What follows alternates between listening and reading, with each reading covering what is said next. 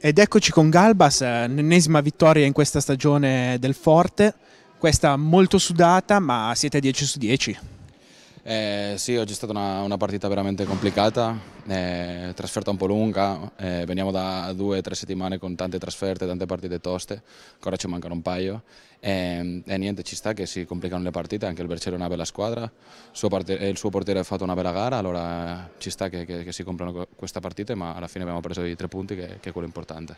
Assolutamente, alla fine si gioca per i tre punti e continuate a portarli a casa in questa stagione.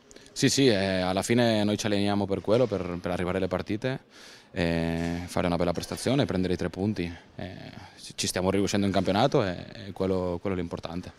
Va bene, grazie e buona continuazione di campionato. Ciao, ciao.